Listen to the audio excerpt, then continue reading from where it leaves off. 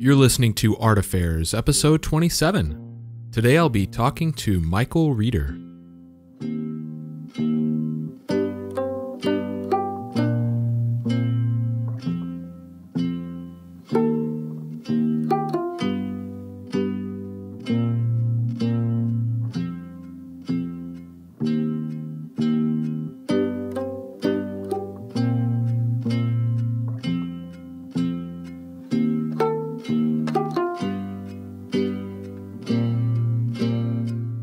So my name's Michael Faith, and this is Art Affairs.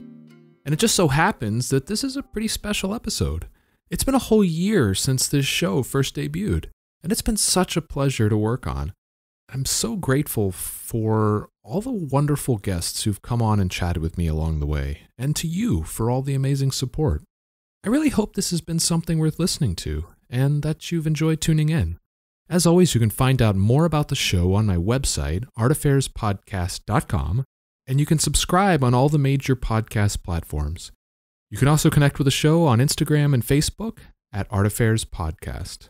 All right, so today's guest is artist Michael Reeder.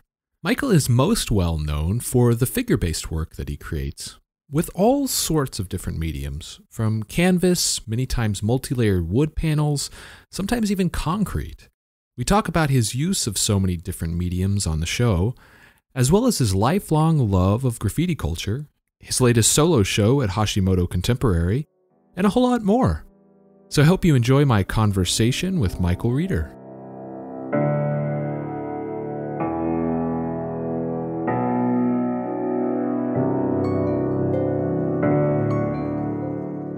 Michael, welcome to the show, man. It's really good to have you on.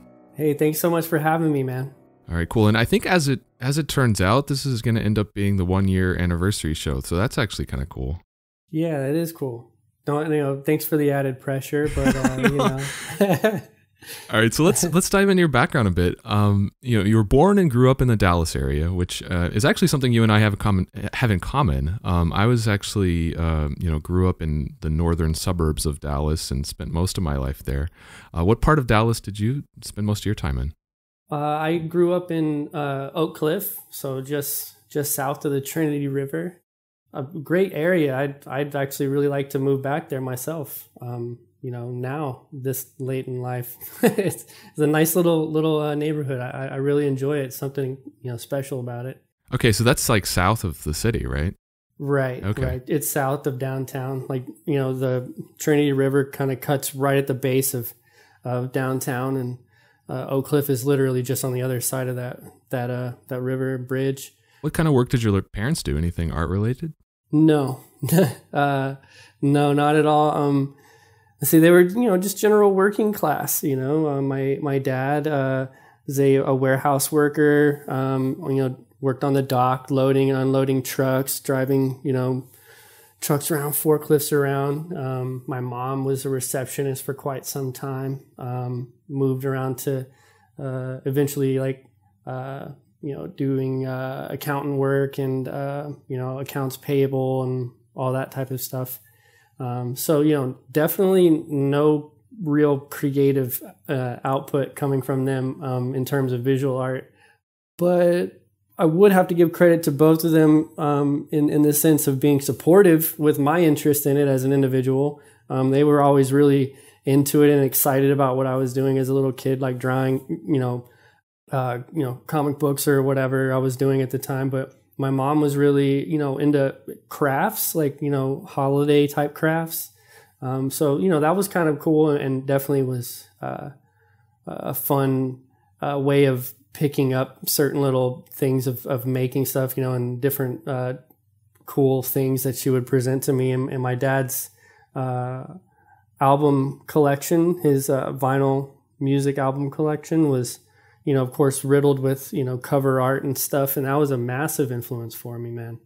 So, so was that, that's sort of what really sparked your interest early on, or was there some other aspect of your childhood that got you curious about creating art?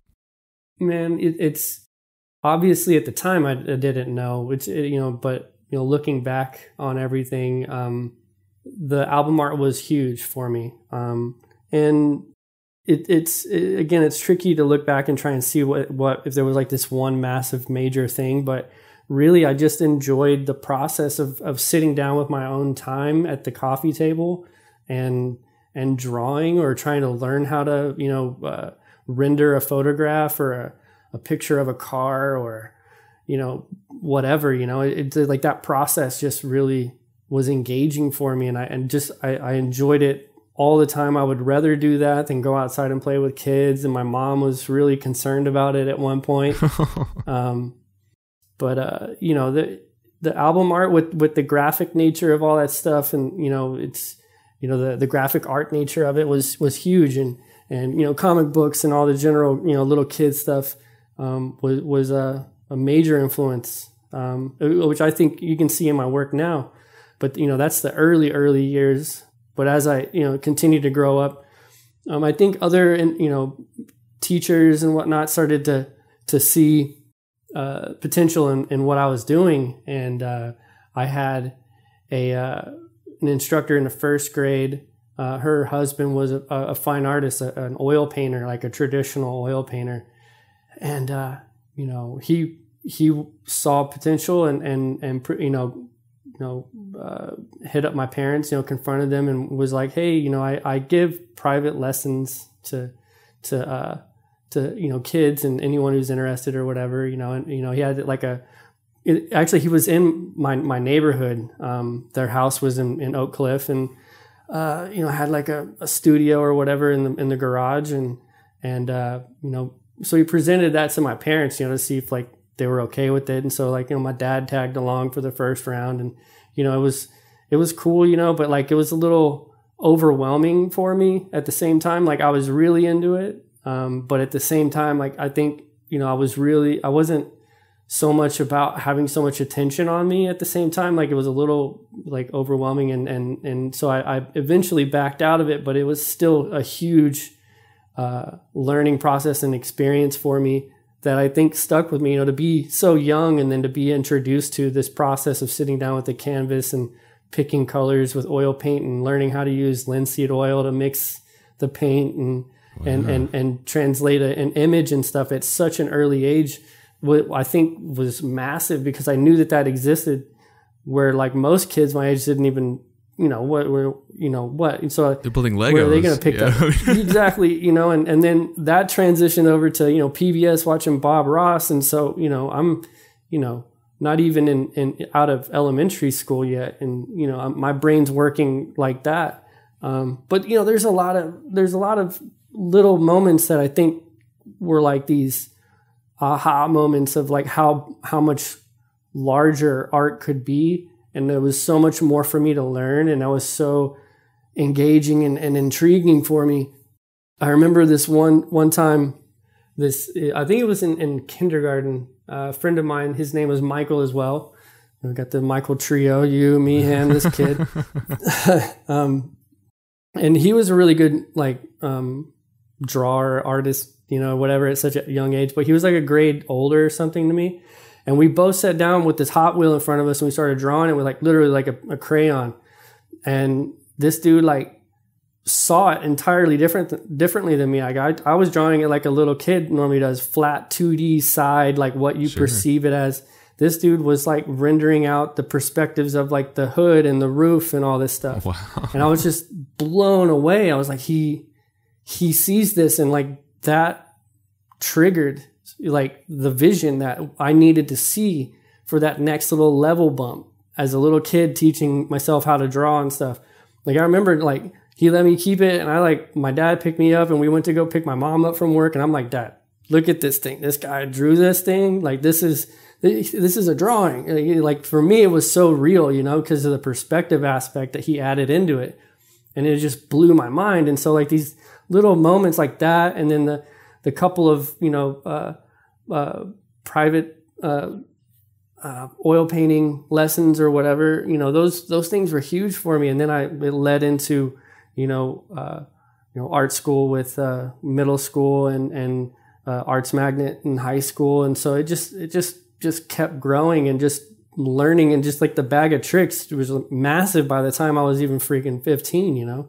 Yeah, no, it's incredible that, that they were able to recognize your your skills and your talent and make use of that at such a young age because first grade is like what six years old i Yeah. mean that's like super young and to be able to recognize the talent and cultivate that so early i'm sure that was a huge huge benefit for you Yeah, they had in that particular class they had um you know it was like a, you have one teacher for the whole year, you know, so like we we were in the one classroom for the whole day or whatever. And every day there was like a topic and it would get drawn onto the board like a, an image of it, you know, whatever it would be a whale or whatever. And the instructor, the, the teacher, um, she started to see my potential and she gave that task to me almost like practice almost like i'd get up in front of the class first thing in the morning we all walked in and i'm picking up chalk and i'm drawing a wasp or whatever whatever we were going to be focusing on one of the topics and and then her husband noticed the same thing because he would come in and help and assist you know and uh, then it led into the, the the the lessons, the oil painting lessons. And again, I only did it a couple of times, but I think that just seeing that, having that introduced to me was humongous for me. Yeah and so so fast forward to high school and you mentioned you you, had an arts focused high school you went to an arts magnet high school Right. um, but that was also around the time from what i understand when you really fell in love with graffiti and hip-hop culture right. um, so how did that come about like what sparked your interest in in graffiti culture Man, I mean, you know, the what's great about graffiti is it's just out there in front of everybody, like in, in everyone's face. Like that's probably my favorite part about it, to be honest. Is like it's unapologetic in the sense that it's it's in your face, and you know, people are going to be going to work and sitting in traffic, and they're going to be forced to see your throw up on a on a rooftop or whatever, you know. Um, so I think that I started to spot and identify all the graffiti around me and the different levels of it, and uh, just started to become like really intrigued in like what that was and like what is this unknown world and you know of course the older you get into high school and stuff you know you start to actually meet more individuals that know more. You know th- this is pre youtube pre internet you know like it wasn't like i can jump on the internet and like look up graffiti and how to you know hold a spray can and all that stuff you know and pull these lines. It was it was it was again back to the whole thing of being really in, in, intriguing in terms of trying to deconstruct how they how they did these things not even just in a cool way with a, you know in terms of color and, and style but it was freaking illegal so they had to do it fast so you know it, it just caught my attention like early and and I fell in love with it immediately and that coupled with you know skateboarding culture and just counterculture in general and music and just you know stepping stepping away from you know, being, you know, around my parents so much because the high, the Arts Magnet High School was downtown. So like I had to ride the, you know, public transit, uh, train to school. And so like there was like this bit of newfound freedom that was introduced to me. And, and I, I took that and ran with that. Like, dude, I was doing so much, so much in that one little period of time. Like, you know, my parents would, my mom would drop me off at the train at like 6.30 in the morning and like, you know, or seven or whatever it'd be like you know just to make sure that if there was any hitches in, in the, the journey on the train i could still get to school on time. So like i had to start it a little bit earlier. And then once i figured out that that, that was my time i was like i need to get the, the train a little earlier. You know like it's getting a little close there. You know it's like pushing like i'm you know i got two hours of like just freedom. And you know i'm riding the train way past my stop to get off like at school and just like getting off in like you know, in, in East Dallas somewhere, and like, you know, meeting people and, and, and doing graffiti at like, you know, eight o'clock in the morning and climbing rooftops and getting chased by the cops. And, you know, I'm like, you know, 14, 15, 16, you know, it, it was wild, like to be that young and, and fearless, you know? That's amazing. And then you end up going to school and, and just, you know, booking a day at school. exactly. Exactly. And then there's like, you know, just a casual day at school and I'm, not paying attention. I'm like over there in a black book doing graffiti, like just completely, completely immersed in that world, you know, for, for years. What was your, uh, what was your tag name? It wasn't Reeder One, was it? no, no, no.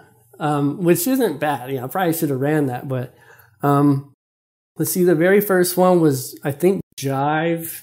And then I got in trouble. And so I had to bail on that. And then I did, um, let's see i think it was it was jive and then i switched mainly to omen um, and like that's what i ran with and again like this is pre like social media and everything so like you would have a name and you'd be running it for years and then you would come across a, a, a train, a freight train and like, there's like this dude, someone else like writing your name like way better than you. And you're like, crap. Okay. what? You know, so like, of course, now I know that there's like, there's been like four or five like very legitimate omens that I would not have wanted to deal with battling or anything, you know, so, uh, you know, it's funny to, to have this type of information, uh, you know, freedom. Uh, so it's, it's weird to look back on like how, how more tight lipped everything was, like even just technique wise, like just fighting to find the, the, the tricks and fighting to find the, the information and knowledge within that world. So it was like this weird thing, you know, like, you know, starting off, you know, you think that you're invincible because you're thinking, you know, or at least I was thinking at the time that it's no, no one's going to know it's you. You're doing it. You're not, you know, nobody's seeing you do this. You're doing it in the, you know, in, in the middle of the night or, you know, when nobody's looking or whatever, right? It's like the unseen world, except you can be seen and you can get caught. And, and, you know, then, you know, the, the underground graffiti world, definitely has a group of people that know each other and have means of contacting you and you know so it's it's definitely interesting. I definitely had like one graffiti writer call my house Oh wow. and my dad picked up and was like you know hello and, and dude's like hey is omen there? Like like what? And and like my dad my dad's just like yep hold on. And then he's just like he's like he, hey mike there's you know somebody asking for omen. And i'm like oh, geez this isn't good. You know it's just like calling my parents like house landline like asking for me via my graffiti name. Were, were you part of any kind of crews at all there in, in Dallas? yeah um i started my own crew called uh, earth grain squad. Um that name kicked off from the one of the first times that one of my friends and i like painted his room uh, his bedroom with like spray paint. So like we we knew that it was gonna get you know fogged out with with spray paint. So you know we covered some of his stuff and we went to the local like thrift store and picked up some throwaway clothes and some bandanas and whatnot and some beanies. And one of the beanies was from that bread company called Earth Grains. and so you know by the end of it, you know we were all like buzzed out on the on the the fumes. we are like, dude, we're Earth Grain Squad. We're gonna run with the EGS, you know. so it's like it's stuck, you know, and it's it's a good one. You know, I, I am very proud of that. You know, had to ended up having like a great group of friends and and writers a part of that that crew. So I definitely miss it. Should start it back up. That's amazing. Did you ever? You mentioned trouble, like getting chased by the police. Did you ever get into any like legit trouble? Oh yeah, that's why I pretty much had to had to hang it up. It was just getting a little too overwhelming and consuming too much of of my not not only like literal like money and and time but like headspace. I just couldn't even really focus on what i should have been focusing on and that was you know my learning my, my fine art stuff in school and whatnot of course. So yeah there's like multiple times like man i mean the the one catalyst time was a buddy of mine and and myself like broke out like Friday afternoon, like three three thirty or something in the afternoon, on like a sound barrier wall, like right off the freeway with like roller paint. It's just intense, man. I don't know why we thought we were just invincible like that, but we did, you know, and we almost got away with it. Is that's the the wildest part. Um, you know, we were we were we we were starting a new crew, and so we wanted to put up two big block letters um, with the bucket paint, you know, with the roller, like blockbuster style. And there's like a huge wall. It's like maybe like 15 feet tall by like 30 feet wide or something. And I see in the corner of my eye, the cops on the other side of the wall, which was a parking lot, pull up behind the wall. And I just told my friend, start buffing it white. Cause we had just switched over to like outlining the, for the letters. So it was a white, white fill and we started blocking in the black outline for the letters. And I'm like, start painting it white. And so like he just starts jumping over onto the white. I walk around with the roller in, in, my hand, walk up to the cops. They're still sitting in the car. And I'm like, Hey, how's it going? You know, and they're like, what are you doing? What are you guys doing? Like, and, and I'm like, oh man, we got in trouble at school. So we're doing community service, like buffing graffiti. Cause like there was so much graffiti, like, you know, your general spray paint bombs and whatnot on these big walls. And we just buffed it white. That's amazing. So yeah, so like on the fly, I came up with that, and, and I was like, yeah, we got in trouble at school. We had some fireworks and you know setting off you know you know blackjacks or something, and the black cats in the in the, uh, the bathroom or something. I said, and and then the cops were like, oh okay, and they kind of looked at me funny. But then they pulled off, and I came around, and we should have just bounced then. Right. But you know, the ego was just raised, and I was like, dude, like the cops pulled off, we fooled them. So we started going back in on the letters. We finished the letters, and we start walking down the train tracks to the car, and like the dude's like uh, next to me, he's like, "Do you hear that?" And I was like, "Don't turn around, don't turn around, and just keep going to the car, keep going to the car." And these cops you know, got out of the car and started yelling at us and uh, to you know stop or whatever. And we jumped in the car and burned out and hit traffic, and they just hit the lights and cut through, and that was that. Aw. But uh, you know that was a good one. There was another one where we were you know at, at night we we told our parents we were going to go to the the the tilt uh, you know arcade downtown in the West yeah. End, yeah. The West End, yeah. And you know now it's all like around there. It's just like all built up condos, like all that craziness. But it was like a bunch of empty warehouses, and there was like a couple of spots that we we eyed out, and it, it was just getting dark, and we went and pulled parked the truck in the back, my my little mini truck in the back, and uh, went around to the front, did some graffiti, and we started hearing sirens getting closer and closer. So we just broke out, and started running, come around to the, the truck, and my I had set the alarm, you know, my old like Viper alarm, shitty alarm to my truck, and my buddy opens the door, and the alarm starts going off real crazy, and right then this cop. A woman cop like comes out with a gun pointed at me, telling me to put my hands up, and I'm like, "Oh, oh shit!" wow. You know, I got I got a hoodie on. It was a zipper kind, you know what I'm saying, with like the the hoodie pouches with the uh so it's split. So I got two cans, one on one side and one on the other, and they're just sticking out. And she's telling me to put my hands up. I put my hands up. I know she sees the cans. my buddy's in the car, alarms going off, and What a mess. and I know it's a freaking mess. And she she's like, "Is this your car?" You know, you know, whatever. And she's yelling at me, and I'm like, "Yeah, yeah, yeah." I'm like, "I'm gonna grab my keys and grab the keys and set the and turn the alarm off." And she's like, you know, yelling at my friend to get out. He gets out, cans dump out of the car. And then she asks for my ID, and then she's just like, "What are you guys doing?" We're like, "Well, we're just we parked the car over here, so we didn't have to pay for parking." And and we're like, "Clearly, there's spray cans everywhere, you know."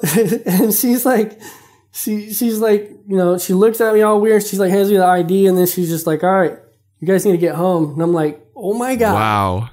Oh my. God. yeah." That's amazing. Um, so yeah, you got you skated by uh, a few uh, different situations that could have gone really bad. Yeah, there's so many. I mean, even like, you know, more sketchy stuff, like, you know, not even involving the cops, but like, you know, things breaking off when you're trying to, elements of a, a rooftop or something, you know, like a you know, rusty ladder and, you know, something breaks free and then you're hanging crazy. Yeah, I got all kinds of stories.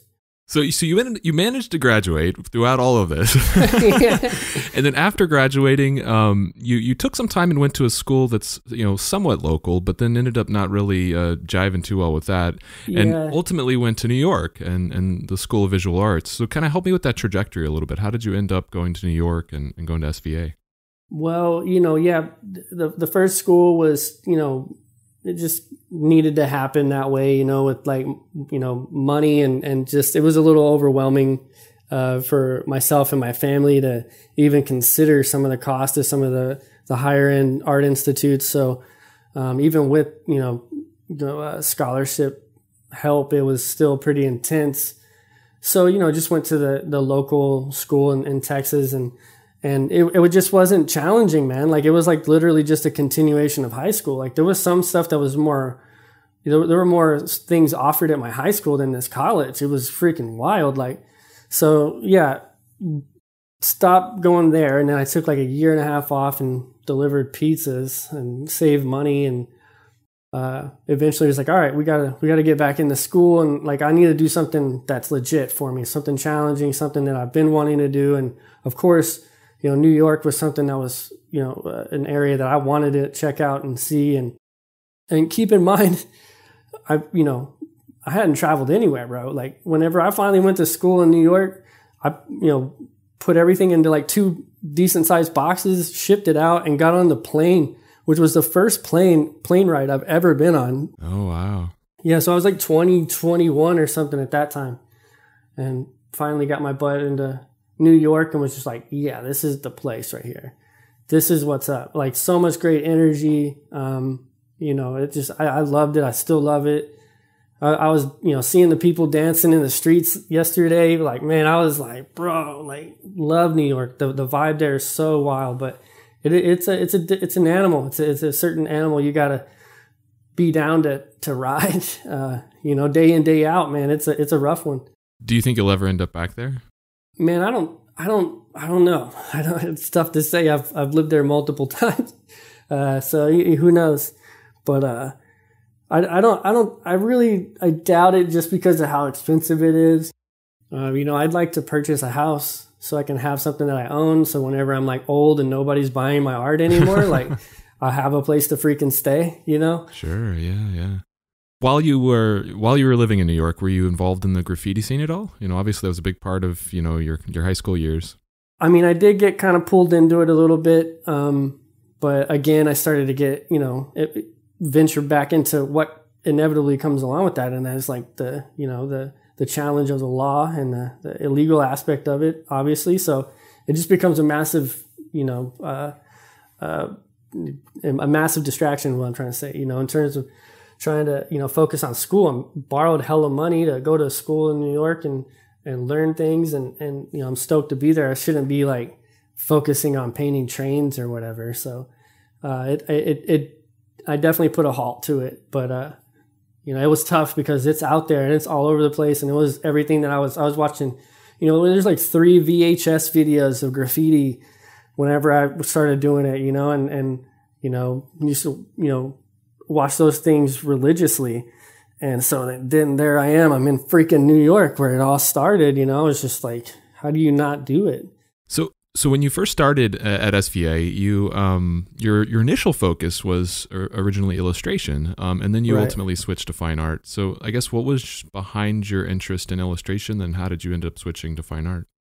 Well, every you know my my art focus in general has always been like illustration and graphic kind of style. Um, you know, with comics and you know different you know characterized elements and just a, a, a certain graphic quality to my work um, and, and my interest in art and what I enjoyed making. So it always just, you know, especially maybe it was more so like instructors just pushing me and directing me down this illustration path. And so I just, you know, started and applied as an illustration major there and got in and did one year. And then I just started to realize that like what the general like layout for the the the plan in terms of being an illustration major there wasn't what I was like really needing or wanting. You know, it's like I can you know keep pushing my own illustration stuff. I can take some courses here and there if I want, but like in terms of really learning something and immersing myself in something that like I had no knowledge in and and and wanted to learn more about and like that was the fine art stuff. So I really wanted to step in and, and broaden my scope of of of fine art in general, not just hone in further on illustration. I, I wanted that background in, in material and in general, like I, I, you know, we, we talk about like art, you know, but at the same time, like my focus has always been just making stuff.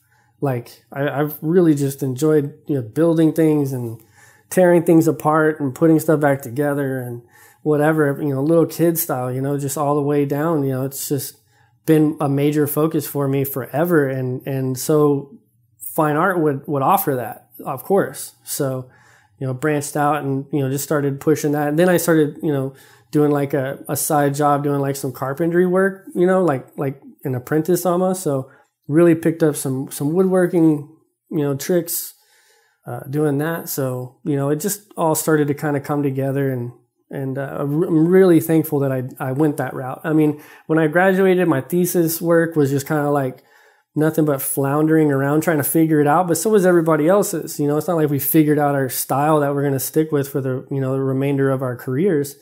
Um, so I understood that and I, you know, I very thankful, dude. Like, you know, you know, many, many of my instructors left me with some pretty strong, uh, one-liners that I that I follow till this day. You know, like when I'm in the studio and I'm you know thinking about some of the things that they suggested. You know, it, it was also a little overwhelming too, in the same sense where you got like a bunch of of, of artists because you know they're professors or they're instructors, but at the end of the day, they're just an artist like any other artist. So it's just their perspective on what you're doing and their perspective and opinion on art.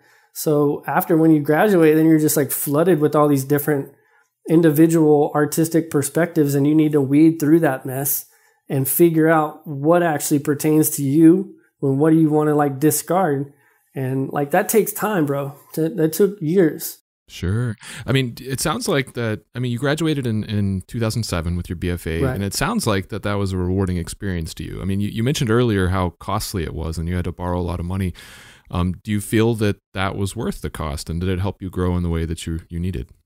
Yeah. I mean, you know, th- this question gets asked quite a, a, lot for, you know, a lot of artists, of course. You know, art school, is it worth it? Do you, you need to, you know, do you, do you recommend younger artists follow this path? And, it's I can see it going both ways, and I've heard great arguments on both sides of, of it, of course. Um, but you know, I decided to try and do it, and you know, for me, it was it was even it was bigger than just the the the specific school and, and what I what I learned at the schools, um, and with the different instructors. Like it was also like a, a growing experience for me, uh, moving to a different city and uh, experiencing a, a broader sense of culture, breaking outside of my bubble that I was, you know, in in Texas, which we know is a very serious bubble.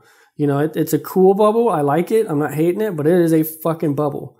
And you need to break outside of that if you want to have any broader sense of the world around us. And I'm very, very, very thankful that I did that. Um, and it came in the in the the the sense of having to borrow money and go to school in another state, and um, that was massive for me. But um, again, like I was kind of mentioning moments ago, like, you know, I, I came out of that with some stuff that really helps me in my practice today.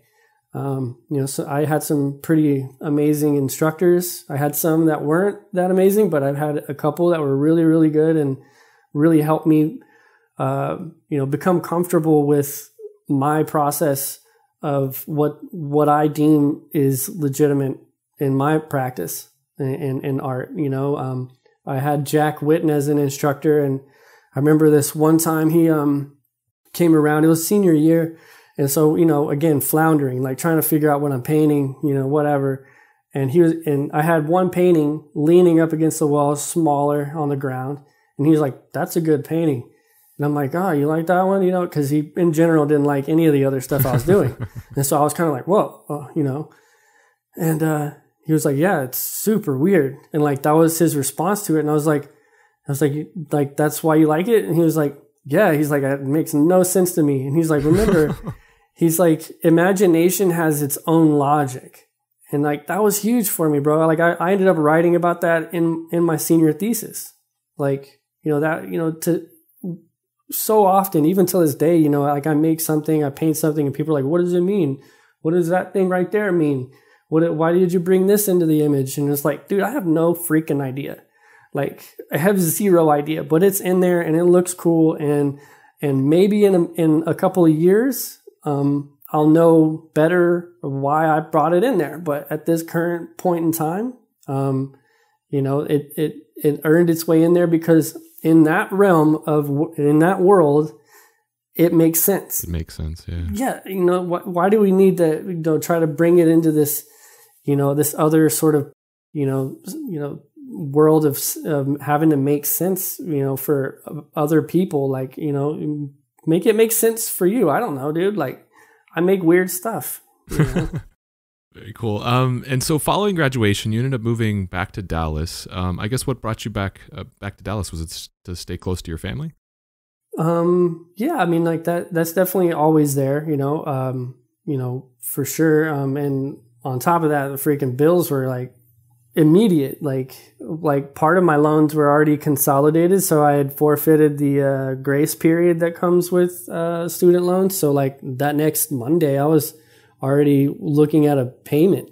Mm. So I was like, all right, we gotta get serious with this world, you know, life in the bigger world sort of situation, and and uh, I didn't really see New York being doable. Like I probably could have done it. You know, I had a, I was already set up you know, in an apartment with two roommates that I, you know, really, you know, gelled with and, you know, could have made it work. But like, what was I going to do for a workspace? Like, it was like I was paying like, you know, I don't remember what for like a single bedroom in like an apartment in Brooklyn. And, you know, I didn't have the extra money or a job lined up to, you know, line up a studio space to work and figure that whole thing out. So I was just like, all right, let's get back to Dallas where it's more affordable.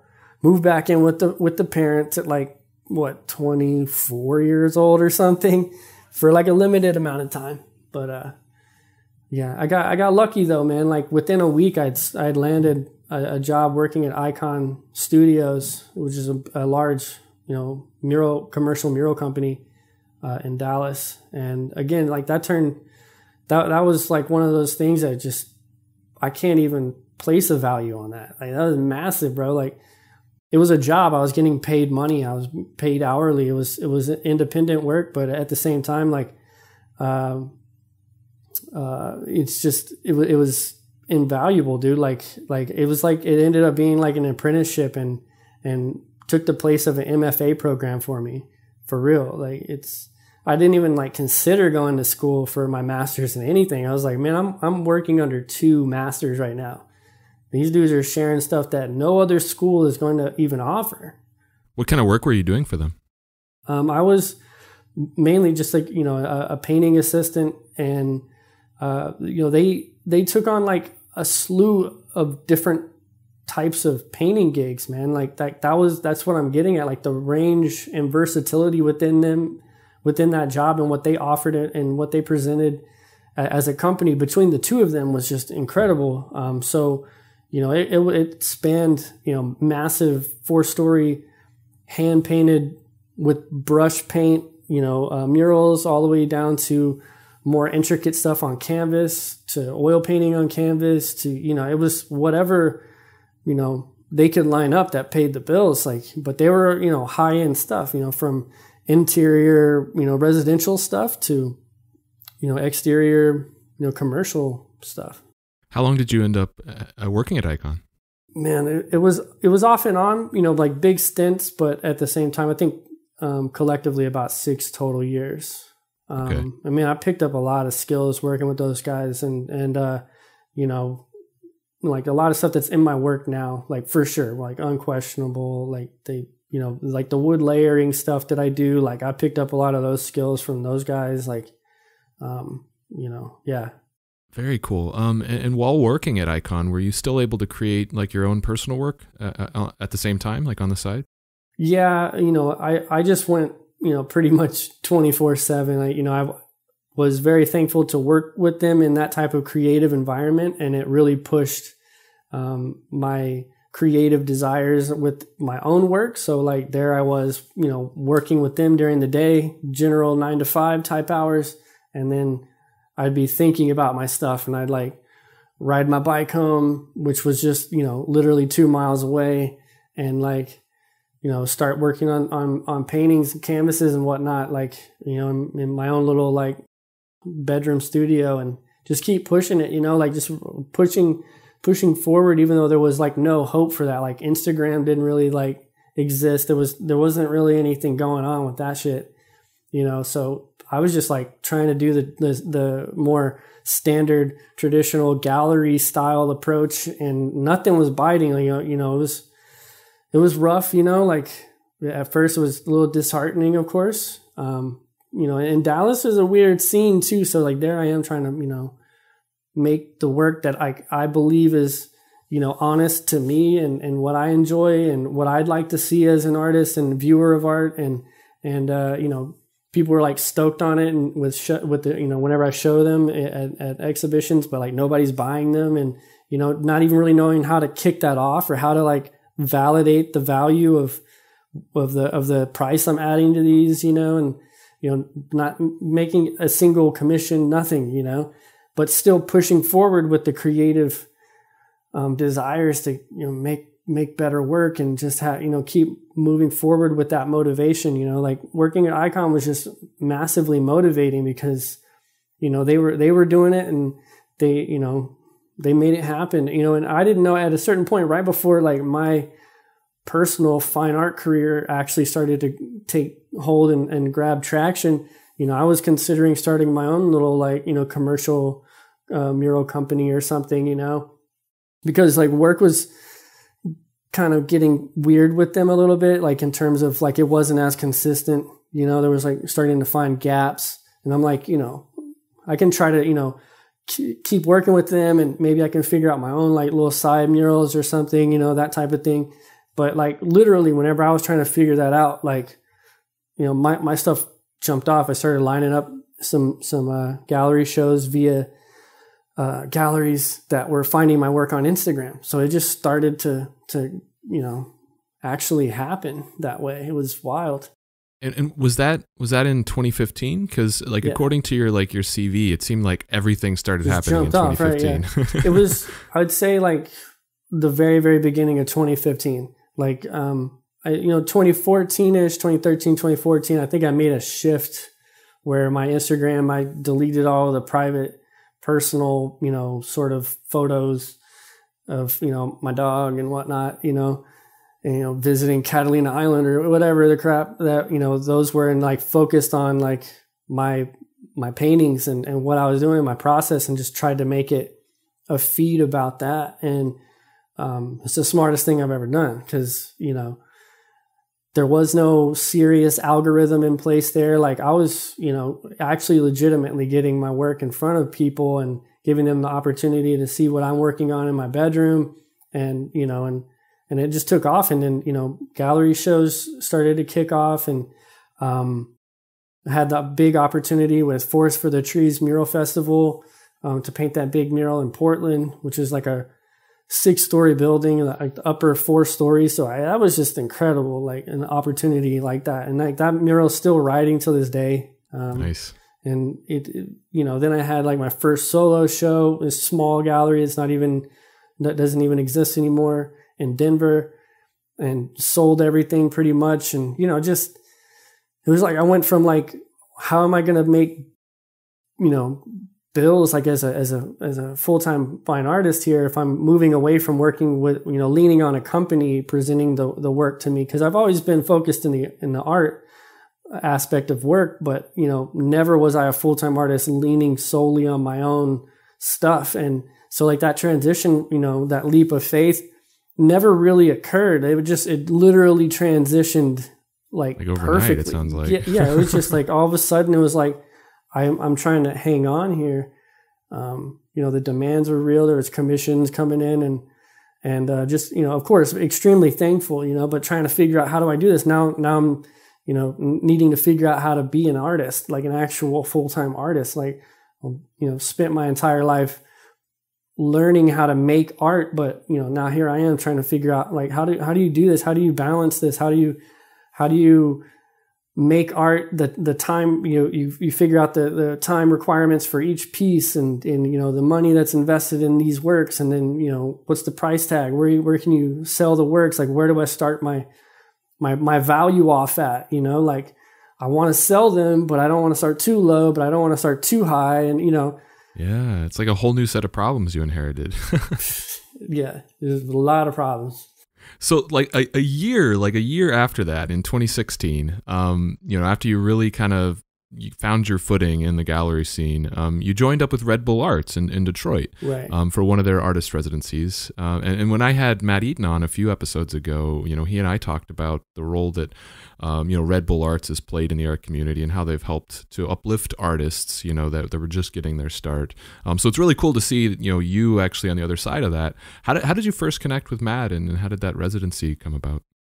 100% Instagram. Again, like he came across my work. Um, I was getting some pretty significant, you know, exposure, you know, a lot of shout outs, you know, like Hi-Fructose and Juxtapoz and stuff. So like, you know, I don't know exactly how he came across my work, but you know, he, he saw my feed and, and liked what I was doing and reached out to me direct message and was like, Hey, you know, really like your work, interested in it, you know, and I told him I had a, that, that show coming up, the one in Denver and he was like, "Yeah, send me the the the the PDF of of the works that'll be available." And so I did that. You know, I don't.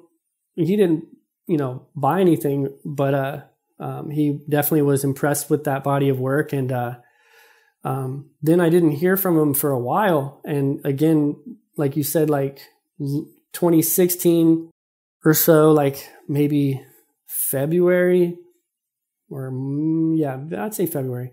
Um, he direct messaged me again and he was like, Hey, I've got this opportunity, wanted to present it to you. And he told me about the, the residency and, you know, it was paid. And I'm just like, he's like, think it over. And what I'm like, think it over, bro. Like, you talking about paid time where you know like i was like i was in that period where i was explaining where like trying to figure this out like i'm not i'm trying to make paintings i'm trying to be legit but i'm over here trying to you know bring in money to where i can like i, I feel like i can do this i'm not having these massive gaps of income coming in so i'm trying to figure out like do i make t-shirts do i you know what what do i do and uh, you know all of a sudden this opportunity just comes in and you know in terms of my own like fine art career like that opportunity was huge for me. Like after doing that, and you know, I sold everything in the exhibition that was a part of that um, that residency.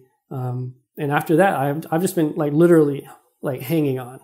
Every year, it just exponentially boosts higher and higher. You know, it's just extremely incredible to to to you know experience this this this ride and um, very very very very thankful. You know, I just want to reiterate that because I, I know how tough it is. How did that residency end up working? Like, did you have a goal going into that where you wanted to build out a body of work for a show, or, or what was the residency like?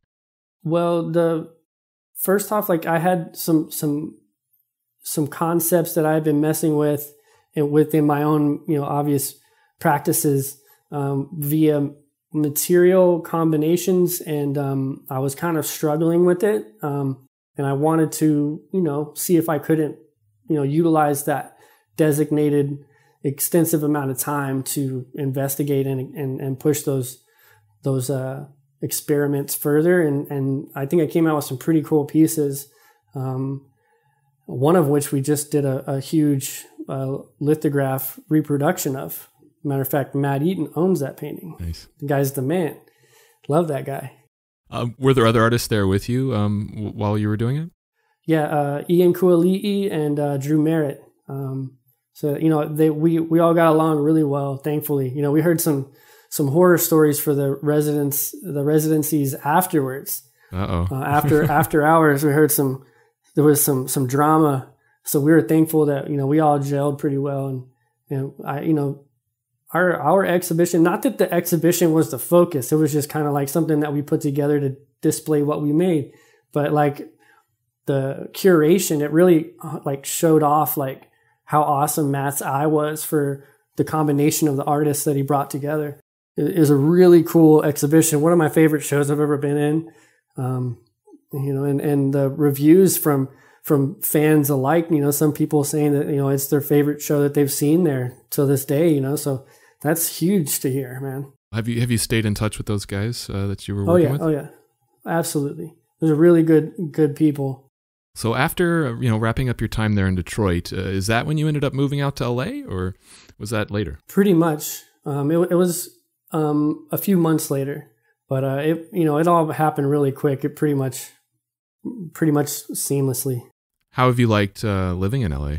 It's been great, man. Um, I really enjoy, you know, the people here, and you know, the, the weather, of course, is is great. And you know, I I've been just hammered with work, so it's not like I've been going to the freaking beach. I've literally been to the beach once. I've been here for almost four years again, Oh, wow. or something. Yeah, and it's like I, I don't do that stuff, man. I work all the time, so you know, um, uh, being in LA is great and like I like it, but really I'm just a studio rat, bro. Like you can, you can implant me with a studio space in any state or city, and I'm gonna do my thing.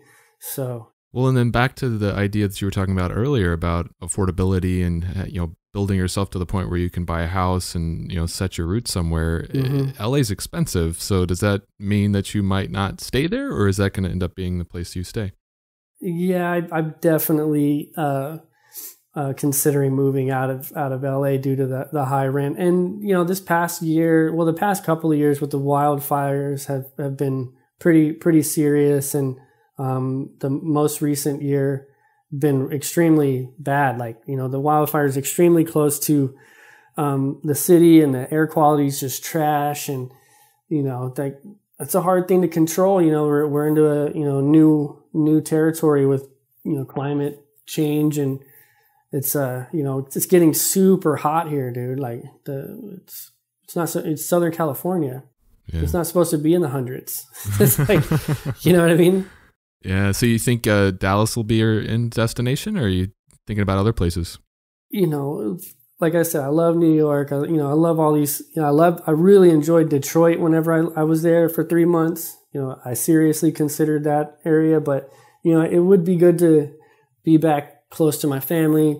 You know, my mom and dad, my uh, my my brother and his wife, and my two nieces. You know, so you know, we got a nice little mini family. You know, I'd like to not be so so far apart from them. And COVID really, you know, messed messed up. You know, traveling and visiting so I haven't seen them in a solid year yeah. plus. Um, so you know, getting over there and and, and you know the, the cost of living in Dallas is just you know there's there's no income tax. First off, let's start there, dude. Like the amount of taxes I paid last year was just incra- It was crazy. Like like holy shit. Like 2015, I didn't even make that money. like it's crazy. So like the the the taxes in California are crazy, dude. Like um, so, you know, Dallas would be a great place to potentially be able to have a house and be able to build a little studio on the same property and, and, and, you know, be able to, you know, f- fund my, my practice moving forward. You know, like I said, I can't expect people to be buying the paintings, my, my, my paintings at the same rate that they are. You know, I don't, I don't want to do that. You know, that, I think that that's, you know, being a little overly, uh, you know, hopeful with with sales man. Like i've been very very lucky you know like sold out many many shows and i can't just approach life like i'm always going to sell out a show. Like that's just not a reality in my my opinion. So you know when, when does the hype wear off with you know michael reeder's paintings you know? I, I still want to be an artist. I still want to be a full-time artist and you know i still want to be able to have a studio and make my work for the people that stick with me and hang with me moving forward and you know, uh, I can't, I don't see myself being able to do that, dropping like 1.5 million dollars on a thousand square foot house in LA. You know what I mean? Yeah. Like it's just stupid. well, and it's smart that you're thinking about that and, and really, you know, not letting it get to your head and really being humble about the whole thing and, and thinking about the long term rather than just the immediate, you know, push. Yeah, I mean, you know, it's not the same for for every artist, of course. You know, some artists get out of school and they they have immediate success and that's all that they know and more power to them you know what i mean? And maybe they won't ever you know think like i do you know? But like i i fought really hard to you know many many you know the better part of a decade after after graduating college to to try and you know figure this out and and develop a demand and have people pay attention to what i'm doing. And and uh you know so i understand that it's all just existing on this paper thin foundation, you know, like I, you know, you fall right through that at any moment, any hiccup, any, anything, you know? So, um, just again, you know, I'm not just trying to be corny. I'm extremely, extremely thankful. And, you know, just, I spend a crazy amount of time in the studio and like, that's for the fans of my work. You know, I want to, I want to keep making new stuff for them and make stuff available for the collectors that want to hang my stuff in their work, in their home. And, um, you know like that that's my motivation very cool. So let's let's dive into your work a bit. Um, you know, and and actually your really early work, the stuff that really came before you really broke out and onto the scene, um, was a lot different from what you make today. You know, with like little to no figures, more focusing on on these buildings and sort of Escher-esque type structures, and it even had like a narrative slant to it. Um, like, how did that evolution take place, and, and what took you from what you were making back then to focusing more on the figure and, and the stuff that you make today? Well, you know, before that, the, you know, my, most of my work was was actually pretty centered on the portrait and the face and everything. It's just something that I've always been into drawing and rendering, and you know, ever since I was a little kid. So, whenever I got to, I, I want to say junior year of of college, um, I, I went full abstract. Like I didn't even it wasn't even any kind of like I studied abstract expressionism under a few like legitimate, you know, abstract expressionist painters, you know, you know, Michael Goldberg, um, uh, a few a few others um, that like legit just full blown non-representational abstract painting. So like I learned that language. And then as I stepped into my senior year, I wanted to bring in representational elements because I enjoy painting that type of stuff. I, I, I like rendering things out. And, uh, you know, so inevitably the, the, the figure came back in and was reintroduced. And then one of, one of my instructors, Gary Simmons, he was like, Hey, you know, I got an interesting challenge for you. Why don't you because I would place the figures in in an environment, but I of course inevitably was making a major focus on the figure. Then the environment was kind of you know secondary, and it was very very clear and apparent. Um, so he was like, "Why don't why don't you create the environment that the the figure resides in and there's elements of of the existence of a figure but there is no you don't paint the figure so build these environments and leave them empty and you know so literally for the rest of the year. Like that's what I did. Like it was it was actually very refreshing, you know, and and fun. Um, and that carried on after I graduated, and you know I was introduced to potassium silicate paint with Icon with one of the big jobs that we worked on, and they gave me like a a range of paints, you know, as as a gift, and because it, it's extremely expensive, and the quantities that you have to order are really large, so there was just no way I was ever going to be able to buy that stuff. So they hooked me up with the, a, a mini line of the palette.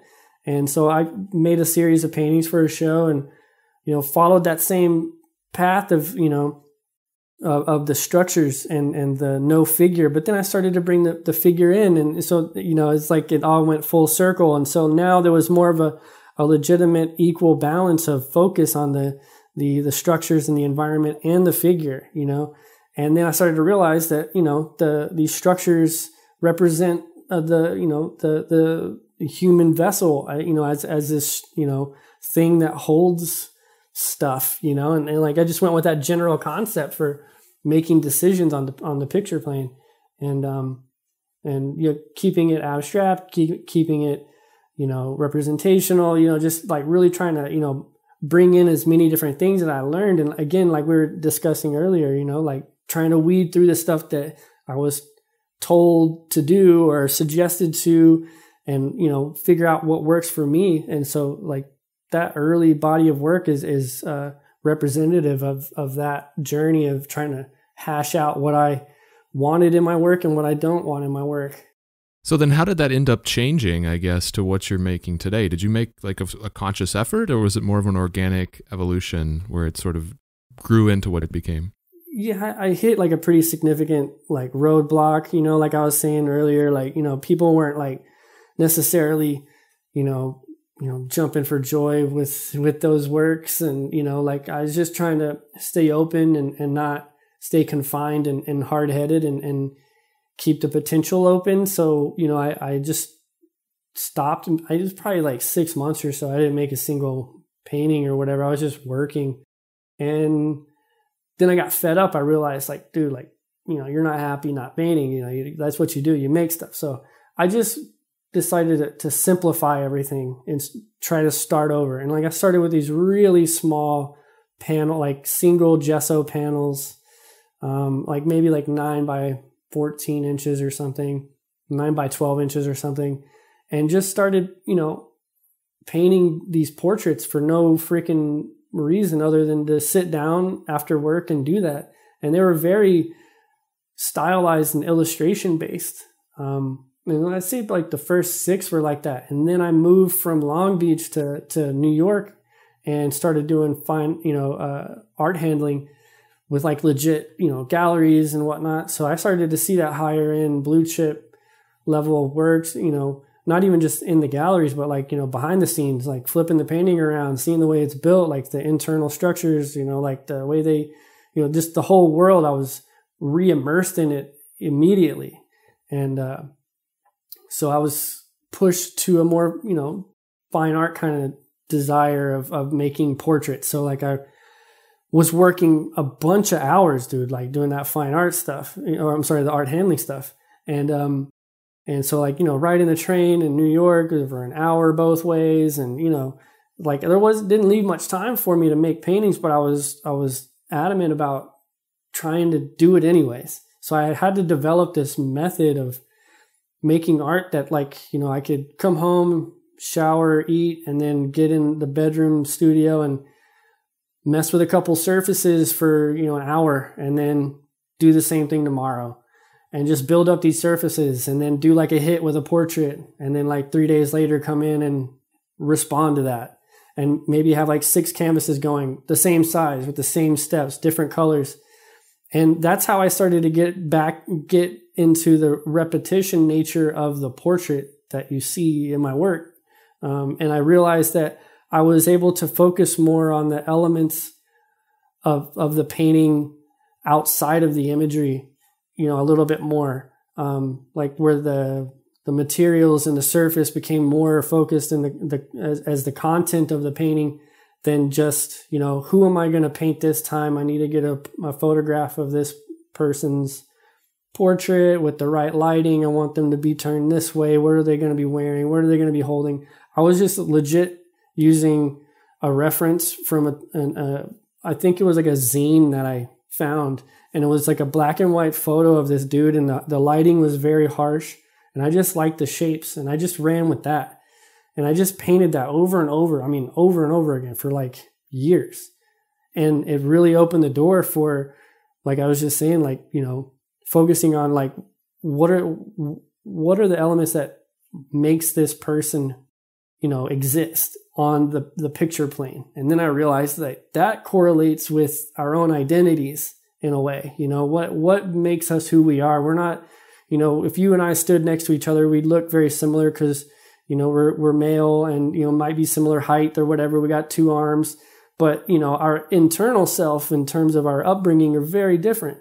And, you know, that's what comprises, you know, our our self. And and so I liked and enjoyed that correlation with the physical tactile, you know, factual aspect of painting, like in abstract painting, like that's very real, you know, like you're moving paint around, like, you know, in a, you know, very physical way. You're not focusing on an, uh, you know, illusionary space or trying to, you know, fool the eye with like atmospheric space or like this landscape. You're just pushing paint around in color and space. So, you know, just meshing those two together um, is where you know the new work kind of like just started to take off and like there was a lot of energy and and and power moving forward with that. And then being able to you know find become comfortable in, in my my newfound language visual language and then being able to bring in new stuff and and older tricks as well you know picked up with icon and, and whatnot and then being able to bring in the graffiti stuff and you know then i just started to realize that i could my style could be comprised of many of the things that I've learned, not just, you know, one thing that I honed in and became good at. Like I was able to utilize 20 different things and make the portraits in my work that you see now. Well, and that's one thing that I really appreciate about you know the way that you approach art making and, and you've talked a lot about this just in general um, throughout our, our discussion is, is that you're you're constantly experimenting and, and like pushing the boundaries of what a, a quote unquote painting even is. Um, and it's like you're you know breaking down these barriers between traditional painting and sculpture and graphic design and and like blending all these different ways of creation into your work. So i guess where does that sense of experimentation and and boundary pushing if that's a word uh, come from?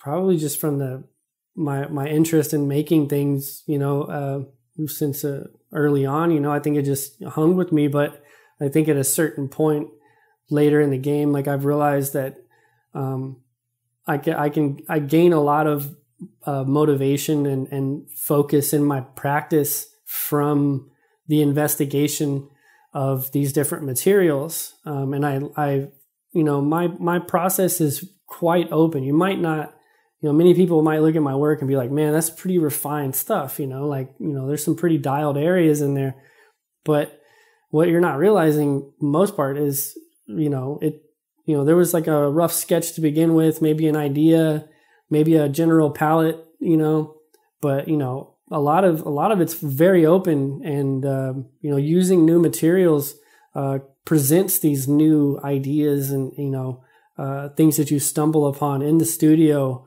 um, in real time, and trying to remember those little things, like find ways to jot down that that little uh, discovery so that you can pull that back up and, and later on and actually try to utilize it um, in a piece. You know, not just have a happy accident and then move on. Like literally notice and figure out that that happy accident has potential beyond being an accident. Um, and you know, messing with new materials it presents that tenfold. You know, because you're not as comfortable with the material. It's brand new. It's doing things that you you know didn't foresee happening and you weren't prepared or like you put the wrong base down and so now it's doing some weird cracking but you're like that's kind of cool you know? So i you know I, that's a big part of what keeps me interested in my own work man. You know when you put in the hours that i do it's it, you know i don't know how some of these artists do it dude like where they they just sit down with their oil paint and they have like a uh, an image that they they drew up in Photoshop or something and they're just freaking painting that for hours every day. Like, nah, no way. That is not me, dude. Like, I can't do that. Like, you know, hats off to them. You know, I'm glad that they do that and that work exists. Like, you know, I enjoy it. I enjoy looking at it. I don't enjoy participating in making that stuff. Not to say that I can't do it, but, you know, I've gone down that path of learning how to, you know, render things to look, you know, as real as possible and, um, you know, I, I just enjoy the more physical um, uh, aspect of, of the different materials and what it what it offers. And and you do use a lot of different mediums, um, from you know acrylic to spray paint to oil, enamel. Like, how do you go about deciding what medium is right for a particular piece? Man, it, I think it really just has to do with you know back to what I was kind of getting at. Like maybe I, I discovered like an idea, or like you know I was working on a piece and building up the layers, and then midway through these two colors set off just the right way and I'm, you know, take a quick photo of it and try to remember and not lose that and, you know, use that as like a loose base to, you know, move forward in the, in the, in the next piece, you know, and, you know, having, you know, utilizing the different materials, you know, each one has its own finish or its own surface or it, you know, offers its own sort of characteristics. So, you know, sitting those next to each other is is a lot of fun and having them you know kind of feed off of each other and have a nice dialogue not even just color wise but surface wise and uh, you know finish sheen wise you know. There's so many different elements. When whenever you step into that world it's not just like you know okay i'm going to varnish this whole painting and be done. Now of course i just did a show that everything was 2d super flat on canvas and paper but you know that I, I, I like the fact that I've, I've built this, you know, process in my, my practice to where I was able to be like, Hey, let's switch it up and go back to flat canvas. And like, everybody's like, whoa, bro, like, what is this new stuff? He's like, why are you bugging out that I'm just painting flat whenever so many other people paint flat, you know, but you know, it, it's kind of cool that, that I've managed to, you know, create that. Yeah, no, that's very cool. And and one of the the ones that's fascinated me the most is the, the work that you've made in concrete, which is is very uncommon from a medium perspective.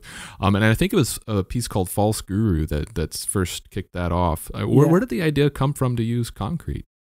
Uh, it it initially kicked off, you know, man, like five years ago or something uh, with when I was trying to utilize that potassium silicate paint that I mentioned. That stuff is meant to be utilized on an open porous surface because it needs to absorb into a, that substrate. And so it's meant to go on concrete or plaster or brick or something like that. And, you know, concrete's just a rad material. And, you know, being, you know, urban focused in my work, you know, being able to bring in a material that's literally out in, in, in the street and bring it into my work was a goal of mine. But it's it wasn't so quick. Like, all right, I'm going to work with concrete and we're going to hang it on the wall and it's going to work. Like, man, I had so many failed attempts. Um, so many things ended up in the dumpster um, for years. And uh, it wasn't until I reached a point with my work where I started doing the wood cutouts, where like the background was the top layer. And so the face and the portrait started to recess in the layering. Um, and then I realized one day, whenever I was kind of midway through, again, being aware of the total process is massive for me. So, you know, I was like midway through one of the pieces with one of the head shapes cut out. And I was like, man, if I just build a pocket behind here that recesses and encloses this head shape that's negative, I could fill that with concrete with, you know, some sub, you know, some meshing and whatnot that would hold it in place and, uh, and then paint on top of that. And that, that's literally what I did. I mean, I went about it. I've made some adjustments, like false guru actually cracked dead in half, which from, you know, in the original, like it, uh, it's sold with the crack, you know, it's, it's just part of like the, the specific concrete that I used and, how thin it was and all that. You know, it's a cool crack, but when you're trying to not have your freaking painting crack, you know, it's kind of, like, oh no. Um, but yeah, that you know that that kicked it off, and um, I really enjoy you know working that way, and I and I look forward to you know doing it more for sure. Have you ever had any issues with like the weight of it? I mean, because I, I always imagine concrete as being heavy and bulky and, and something you wouldn't imagine hanging on the wall, you know? You know, weight is definitely a concern. I haven't done anything massive, you know, and the fact that, you know, I have to couple it with the wood, wood is not light. So a matter of fact, like, you know, doing like, you know, um, weight comparisons, some of my wood layered paintings, bro, like they can weigh 60 pounds. Oh, wow. Um, and they need legitimate, you know, cleat hanging, you know, systems. So it really hasn't you know, it's not like I'm making a full panel out of concrete. Like that would be hundreds of pounds. Not to say that I won't eventually, but we're working on that. Um, but, um, um, you know, right now it's just pockets. So one of the one that had the most concrete was a 24 by 30 and it had a skull and, a, and a hand and arm that were concrete. Um, and you know that it wasn't that heavy, man. Like it wasn't like I had to do anything extra that I wasn't already having to do with the wood paintings. Okay. Really, the biggest issue with the concrete is how brittle it is. It doesn't flex. It you know obviously it's just this chunk of hard concrete. Like you, it can't flex. There's no give. Like you got you know if somebody, you know, it's it's a fine art piece. You're not supposed to be dropping it anyways. But you know it's I'm just saying, you know, like you pack it and you ship it, and all of a sudden somebody, you know, pulls it out of the, the, the crate or something, and there's like massive chunks of concrete that have sheeted off. That would be a bummer. And thankfully, yeah. I haven't experienced that. Okay, that's good. Um, and, and, so you mentioned earlier that you know you like your process being very organic, and you you like to be kind of in the moment as you're creating. Um, you know, without a lot of upfront planning, uh, how does that work with the multi-layered pieces where you have doors and hidden panels? I, I have to imagine that there's a lot of planning that goes into that. So, at what point does that come into play? Um, you know, honestly, like the ones with the doors, like all those, the, every one of the ones with the doors was brought in like midway through, like mm. the building of it. You know, those those works are generally built with you know the assemblage style with like the the pattern blocks and the you know used you know, excess pieces of wood in my studio from cutting all the different things, you know, and it takes a while to make those pieces because you have to accumulate enough of those types of things in the studio. It's not like I, I, just have a ton of that stuff, you know, just like, you know, I got a huge bin in my studio full of these blocks I can use. Like, unfortunately, I don't.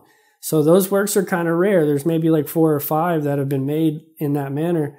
Um, but uh, the most recent two, I did push forward a little bit harder with the door. The secret, all of them, for the most part, have had like a little quote unquote secret door um, where there's an image behind it. Where like these most recent ones, I, I was realizing that why don't I have the door open and it be a part of the the larger image, at, uh, you know, as a whole. You know, like the portrait, you open the door and it's like a full face you can see his face and you close it and it's like the more graphic pattern face.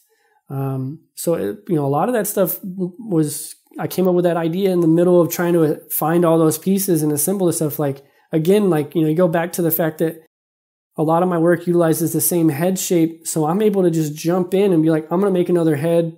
He's going to be facing this way. Let's get that background piece cut, you know, just get this process banging out like that and not being so hung up on like I, it needs to be this new image. It's like, well, what's going to be new is what makes up this character, this this figure, this portrait. You know, the way I'm going to do it is going to be new and different. Like there's, you know, been a lot of shared imagery in my work, but man, like via the the complexities and the challenges that I've faced with myself, you know, that that that I face in making these, I can tell you and attest to the fact that every one of these pieces are very very different because I'm constantly like, how in the hell am I supposed to do this? You know, I want to do this, I want to do this, but like this, you know, it's like if I made if they were the same things, I would, it would just be a production line, just cranking them out, you know, yeah. and that, that's not the case. And with all the wood that you use, do you have like a lot of heavy like woodworking equipment there in your studio? I've got a, a bit of stuff, but honestly, I don't have that much space, you know, because um, I need space that's clean for the actual painting area, you know, like I can't just have like a massive wood shop, you know. So unfortunately, I, I you know I don't have very much stuff. Um, a lot of the wood cutting happens outside. Thankfully, I have two big doors to my space, the ground level, so I can just open those doors and set up real quick with some sawhorses and keep the sawdust out of the studio because that's a problem. But uh, you know, I've definitely been able to you know hone in on the material sourcing of of the of the wood too. Um, you know, back to the weight aspect. You know, um, I like to utilize a lot of uh, MDF wood because there's no grain. Um, so I'm not going to be battling any potential splitting or I don't like seeing the grain in the in the the final finish. So it's everything's super smooth because it's a compressed fiberboard. Um, but that stuff is extremely heavy, like a raw MDF, like a half inch or a three quarter inch. That's gonna, you know, man, like 50, 60 pound sheet of four by eight, you know, that you're having to move around the studio by yourself. But I've managed to source that I didn't even know. Thankfully, a fellow artist told me about it, but they have actual ultralight MDF. It's like, it's not as dense, but it is literally half the weight. So nice. I've been able to reduce as my paintings have gotten larger in scale and more layers, they've actually reduced in weight.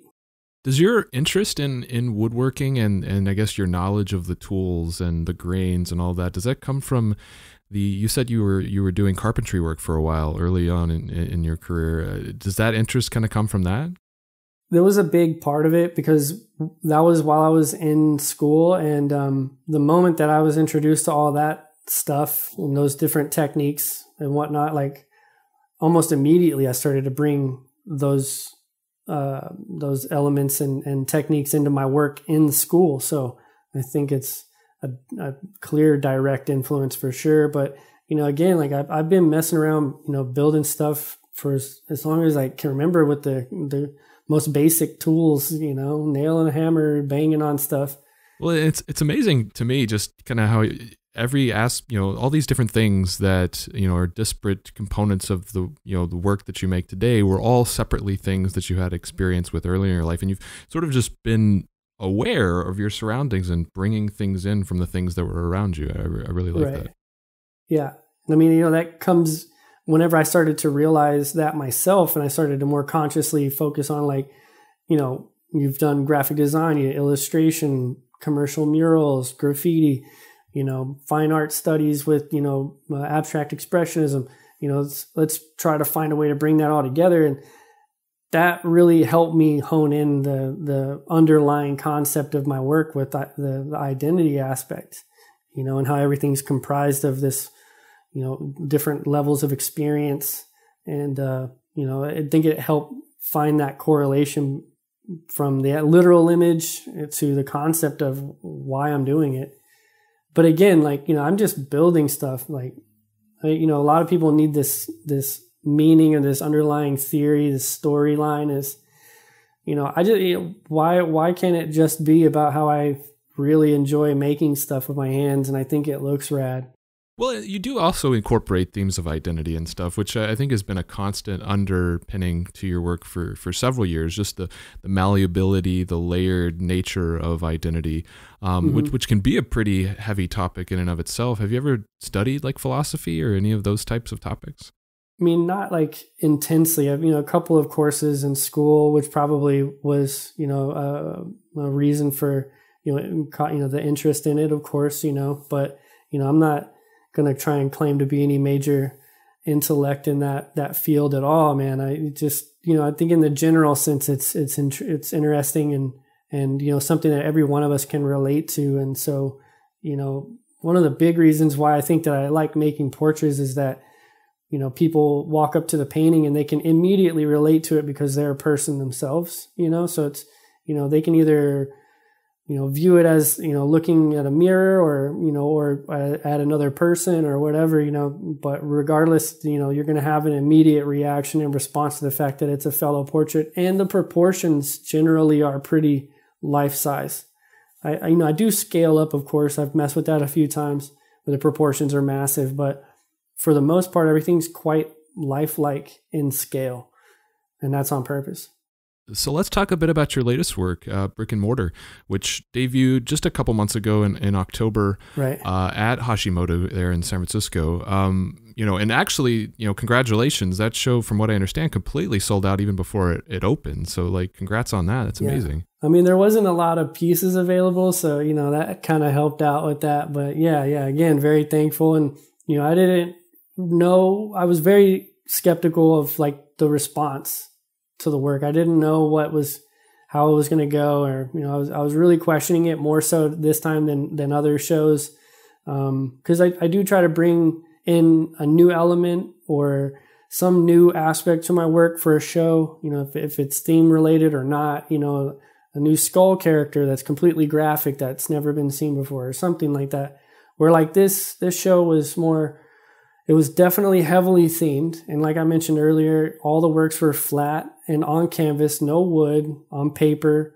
You know, some of them were just paper works, you know, behind a, you know, frame and glass. And, you know, so I, I, definitely felt a little vulnerable stepping into that realm. Um, I didn't want to upset too many of my fans, but at the same time, I, you know, not trying to concern myself with that because there will be wood layered pieces in the future. You know, I'm already working on them so, you know, I just had to tell myself that. And even if the response wasn't phenomenal, like, um, I just wanted to challenge, keep challenging myself and, and keep pushing myself outside of my comfort zone in the, that world of materials because, you know, we, we've discussed the different materials that I like to use and challenge myself with, you know, the, the investigation of these new materials. And, you know, the more you do this stuff, the, you know, the wood layered stuff, the more, you know, comfortable you become with it and it's there's a lot less to kind of stumble upon because you know your path from point A to point B is a little bit more straight and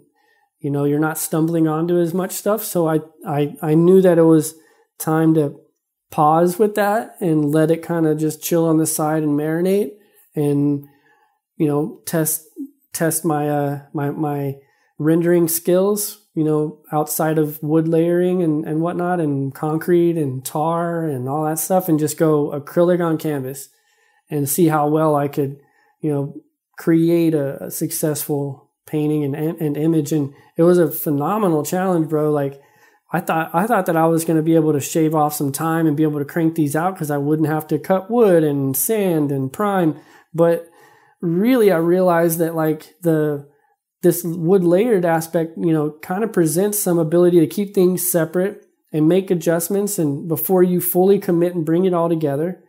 Where like in the the painting on canvas, if I wasn't really vibing the way a brick wall was looking or the colors that it was built with or, or painted with, like I was gonna have to freaking base that whole thing out in white and start over and not mess up the other stuff that was already painted. And like that was adding some time to the process. Like it was it was intense, man. So like now now I'm stoked to get back to the freaking the wood layering, man. Like and, and but it's a quite a weird time um, to to make new work. I mean, with the the, yeah. the environment we're in as far as you know COVID goes, did that did that affect your ability to make the work for that show at all? It was definitely the main you know starting point for why I was working with paper initially, and and you know eventually I just wanted to you know just absorb that that path and utilize it as a as a material theme you know like yes i you know like i was just explaining i've been kind of wanting to do this you know and and shift to flat 2d canvas and paperworks but at the same time when when the lockdown went into place and didn't really have access to my studio the same way and you know materials like i normally would because the the locations were closed down like you know, and early on we didn't know what it was looking like, and I needed to figure out a path for my my show and like what I was going to make. So I, I, I, just went ahead and removed, you know, the, the unknown of like, am I going to be able to gather all these materials? Am I going to be able to get to the studio and cut wood and spray paint and all this stuff? I was just like, what if I have to make this entire show in my, in my apartment, you know? And I ran with that. I wasn't going to let it hold me back, you know? And oddly enough, I started off very small, two eight by 10 inch paintings. And those are like the most liked uh, pieces that I've posted on my Instagram ever. And so I was like, this is a good sign. And you're going to run with this, you know? So, you know, uh, just, you know, I went up from that to, you know, 22 by 30 inch uh, works on paper. And then I had, um, you know, definitely the nicest uh, canvas wrap panels that I've ever had made, like pre-made for me by uh, Lucian. Uh, what was the name of it? Lucian something. God, I can't remember. But anyways, it quality shit, dude. Like very excited. There wasn't any issues of racking or you know one corner's hanging off the the side or it's not fully square. Like it was it was a great thing. Even though it was a little pricey on the front end, it was a great great, you know, way to kind of ease my mind with that because I've definitely battled with that in the past. Very nice. Um, I guess how did you arrive at the the brick thematic? Because that's that's pretty much throughout the entire show. Um, most right. almost all of the the pieces have that sort of theme integrated.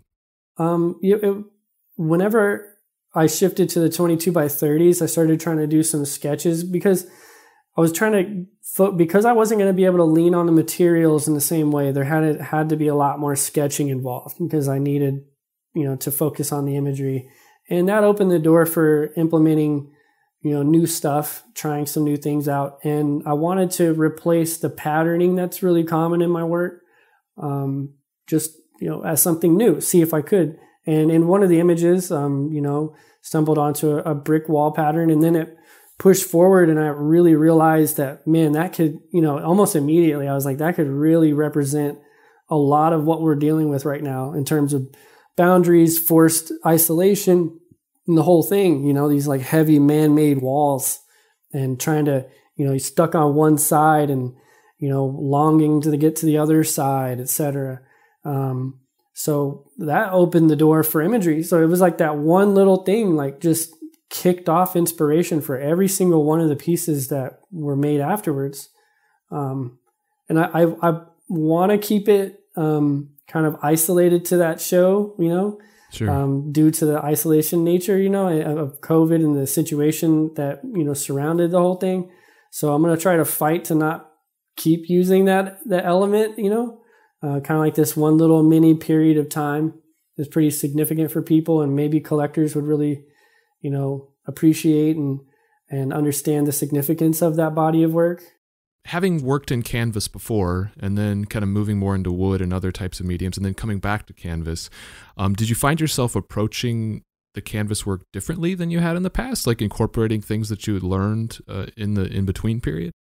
Yeah, um, you know the the tricky part is I wanted to st- still maintain some level of of surface that's common in, in my other works, you know, which is easier to, to kind of build up with the wood and utilizing, you know, a paint roller and spray paint and all these different types of materials. So um, I needed to kind of texturize the surface initially. Um, so that was definitely kind of a new thing um, where it was like a preemptive thing where like usually the surface is kind of develops on its own um, throughout the process of building the painting.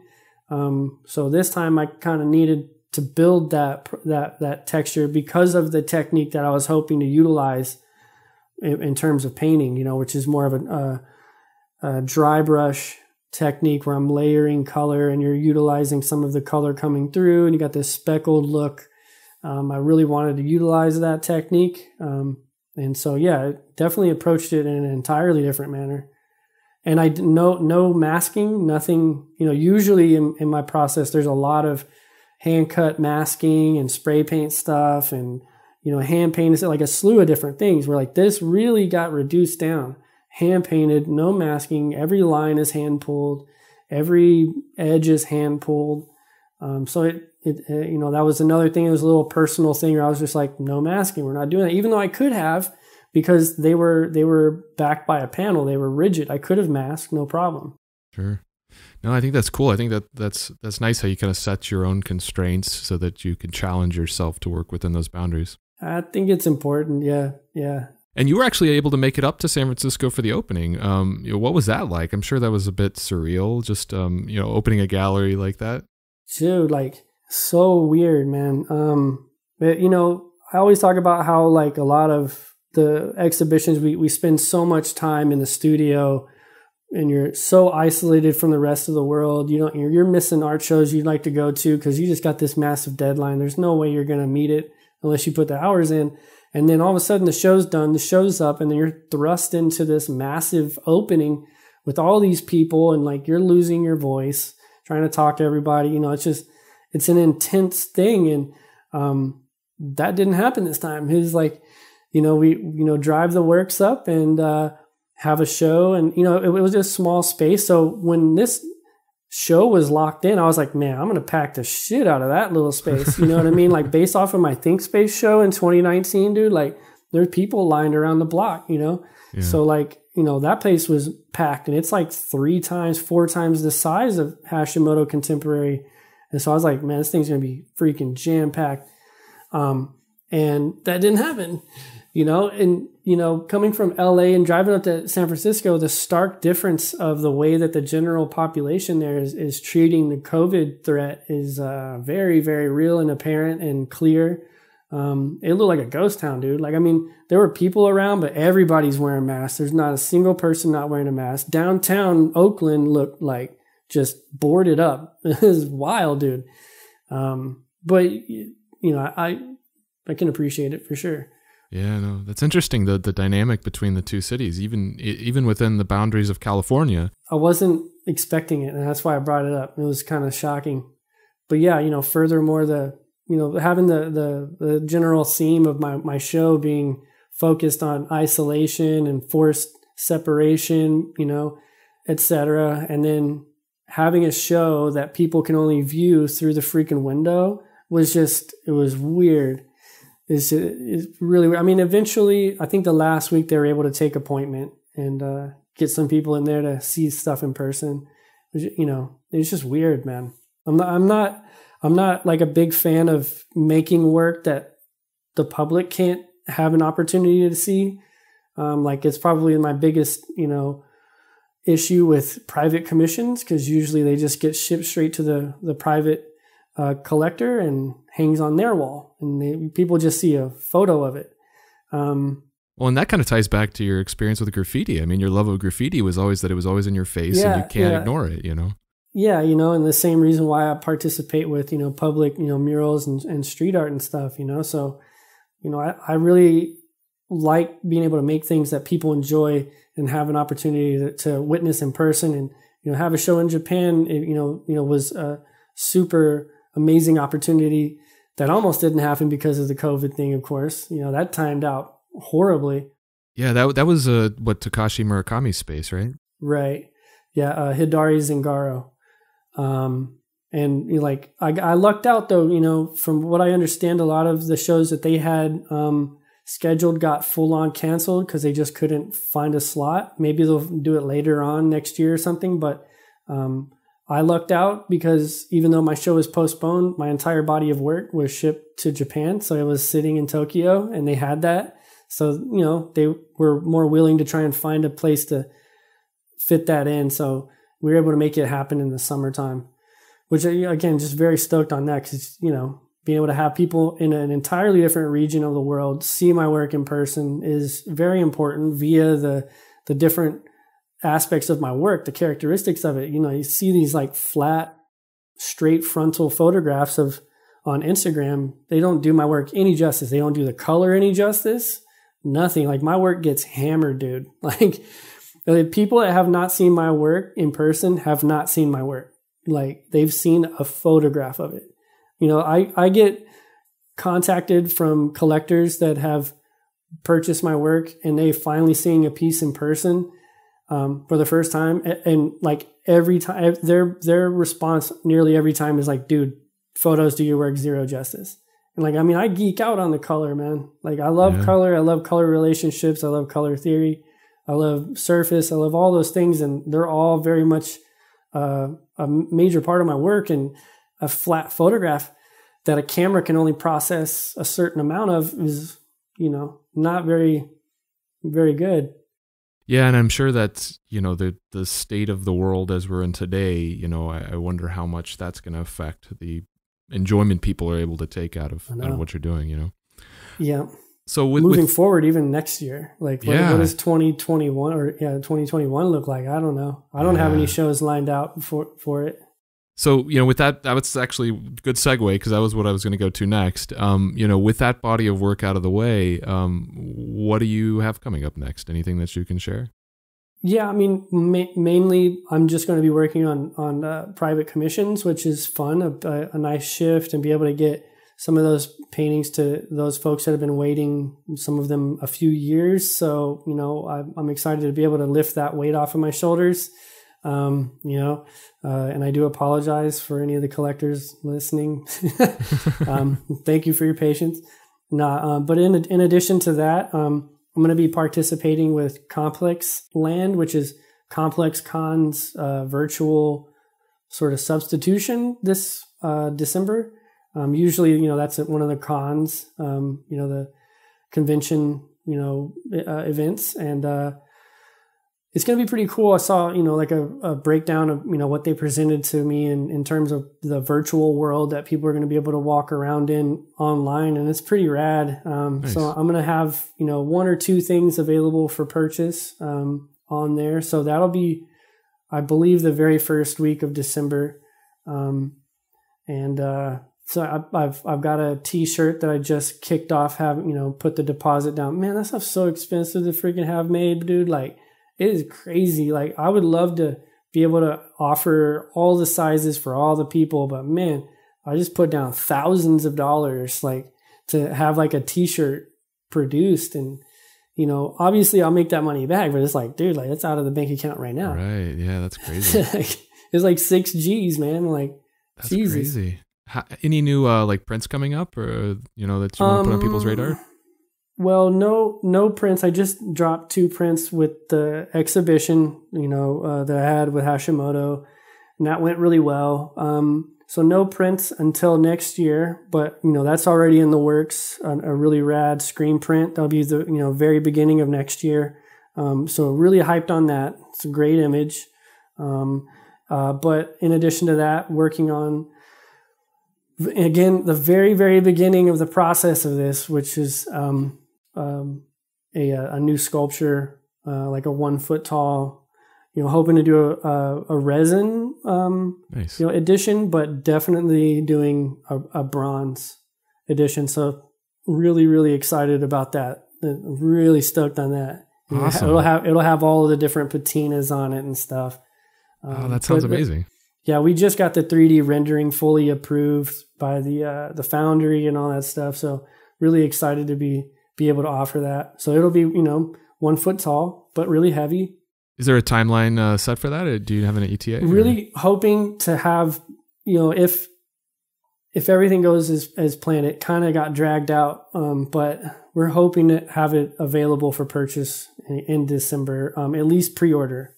nice. Um, Very cool. Well, um, where can people find you online to, to keep up with this stuff? Well, um, you can sign up for my newsletter. I'm not very good at it, but you know, I'm, I'm hoping to get you know do better with it. Um, um, it's on my, my newsletter on my, my website, michael-reeder.com.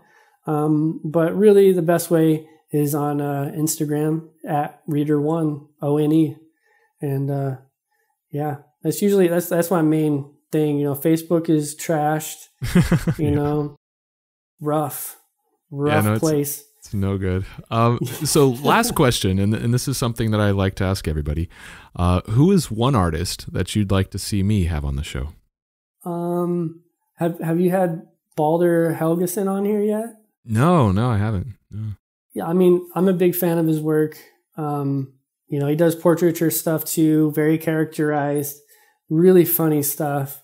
Um, great, great painter for sure. Uh, I think he's like Icelandic or something, if I remember correctly, and he's in Chicago. So I'm sure he's got a freaking crazy story, probably much more interesting than mine.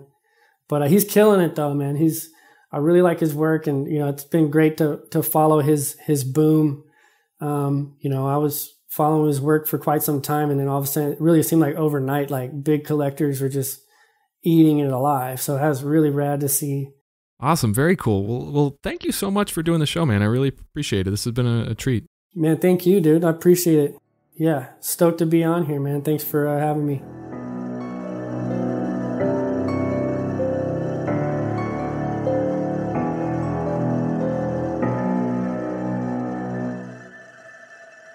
So that's it for this episode of Art Affairs.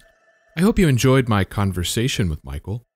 I thought it was so interesting how Michael's style has sort of organically become this combination of so many different kinds of art making, all brought together, blended in a very cohesive way. From the more illustrative and narrative based college work that he did, to his experience at Icon, learning more about materials, to his experience with woodworking and and all that actually feeds right into the themes of identity and how layered and complex each person's identity is. Uh, you know, pulling from so many different aspects of your life. It's really cool stuff. Also, I'm excited about the new stuff he has coming up. It seems he has a lot of irons in the fire. Um, you know, he has new work coming out in a couple weeks at ComplexLand in early December. He's going to have a new sculpture queued up for pre order. It sounds like there's going to be a bronze edition, a resin edition, um, you know, as well as a new screen print early next year. Uh, and that bronze sculpture in particular sounds pretty killer. Uh, you know, definitely watch Michael's Instagram to get the latest on all these new works. So thanks again to Michael for joining me today, and thank you for checking out the show. I'm truly grateful for your support. One big way you could help out if you're enjoying the show would be to review it on Apple Podcasts. And of course, just, you know, sharing it with your friends.